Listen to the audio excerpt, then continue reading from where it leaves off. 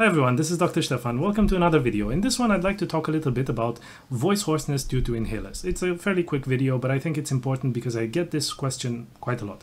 This one was in re regards to AirFluSal Forspiro, which is an inhaler which is similar to Seretide. So two inhalers which are fairly similar because they contain the same medication. They contain an inhaled corticosteroid. I'll tell you why this is important in a second. So uh, this is called fluticasone, and then it contains an inhaled bronchodilator, which is called salmeterol.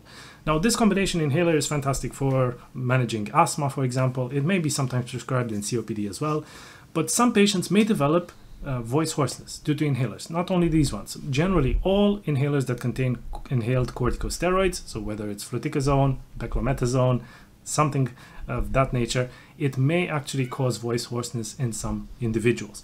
And this is not something that's necessarily something to worry about, but it can actually happen.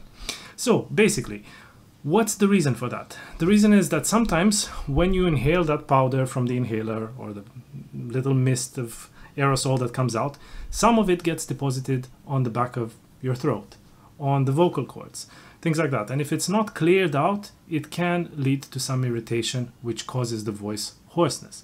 Now, the main thing you may want to consider whether when you're taking an inhaler is first of all, are you taking it correctly? If your inhaler technique is not great, sometimes you may get more voice hoarseness and you may be at higher risk of getting this. The other thing would be maybe to consider rinsing your mouth and your throat after you're taking the inhaler. So basically, after you've inhaled the medication correctly, take a little bit of water in a glass, swish it around your mouth, gargle, and spit. And that should get rid of most of that powder that's been lingering at the back of your throat, which could cause the irritation. The third thing would be if you are still struggling despite having great inhaler technique that you've checked with your doctor or your healthcare provider and it's fantastic, you are rinsing at the end um, maybe consider discussing with your doctor to change the inhaler. So this, there's so many options on the market of different types of inhalers, different devices, different shapes and sizes and inhaler techniques.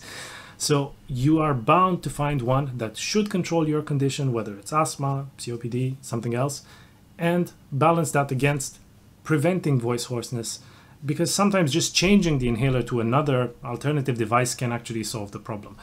Other times, uh, doctors may suggest rotating inhalers. So not being on the same inhaler for years, but maybe changing it every few months. And that can sometimes help with the voice hoarseness as well. But it's sometimes uh, a, a, bit of a need to communicate with your doctor as much as possible to try to figure out what's going on. It's important that in rare cases there may be another pathology at play. It may not be a side effect from the inhaler, so it's important to bring these things up early with your doctor. If you are struggling with side effects, just to double check that it's indeed a side effect. If it is a side effect, to try to manage it like I like I suggested potentially, or if your doctor has other suggestions for you, by all means, go with those. Hopefully this was a helpful comment, and if you have further questions, leave them in the comment section below, and I'll do my best to answer in future videos. All the best.